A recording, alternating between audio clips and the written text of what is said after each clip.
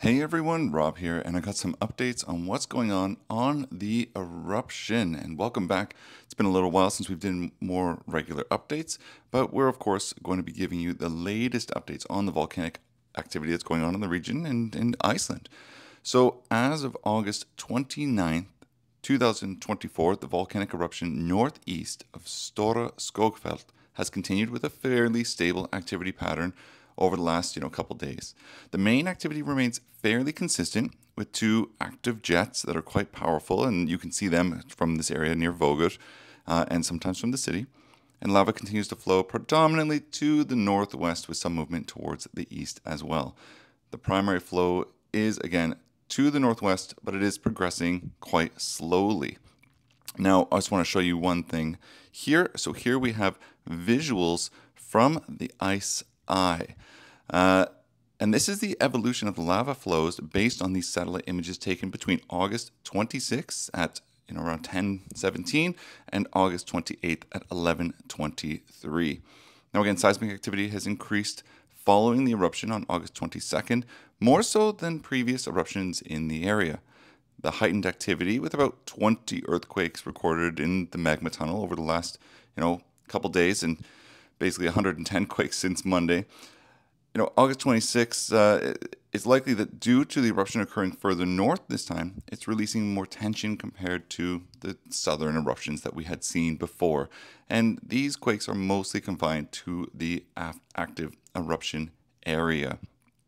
Now, we are still observing some ground change. You can see in the graph here, there's a lot of information because we've had, what, this is the ninth eruption uh, since last November, so in less than a year you can see all of these colors, you know, all the way from purple, blue, green, etc. We are, and I'm just going to sort of zoom in here, we are this red one towards the bottom with this circle. You can see here, it's in Icelandic, but it says Stalin. It's a, this last sort of one in the list from 2808 2024, and that's August 28th.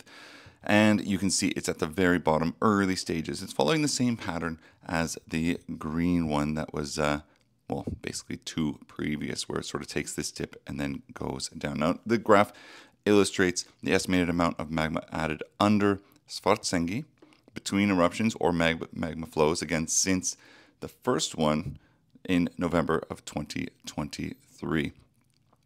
Now, want to just quickly go over this graph as well. And here we have, of course, the danger assessment map.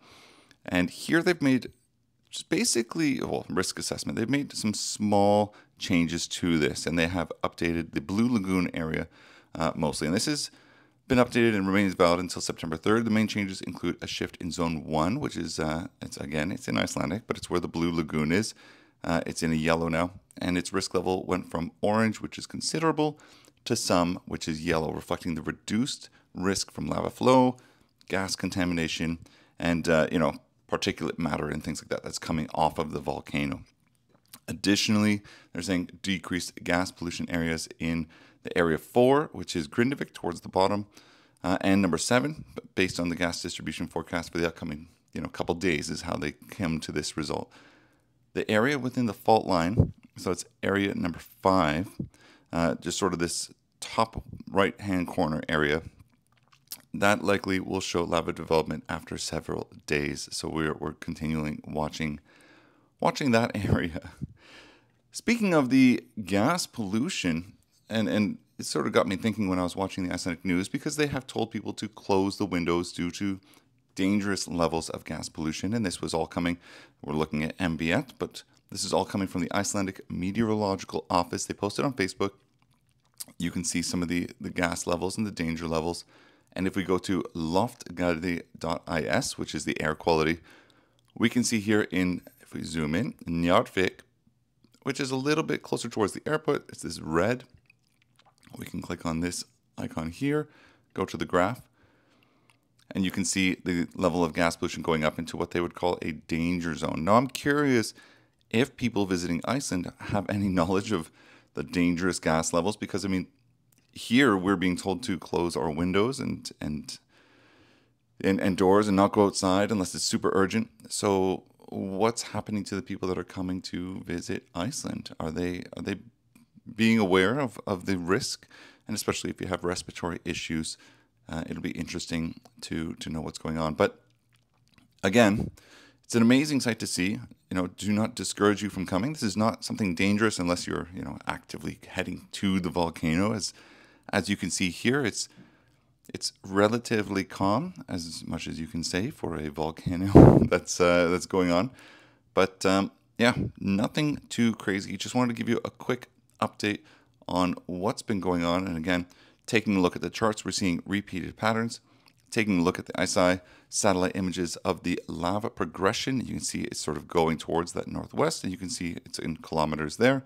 And then, of course, the risk assessment map constantly changing. Purple, stay out of there. Red, stay kind of out of there.